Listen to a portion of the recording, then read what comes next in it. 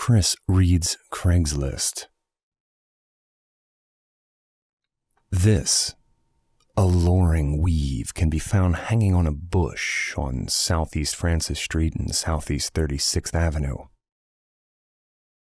Not really sure how it could have gotten here, but some of our guesses are that the previous owner, one, wanted to go back to her natural hair length, two, was drunk and got a little too rough with her comb, or three, got into a fight and lost.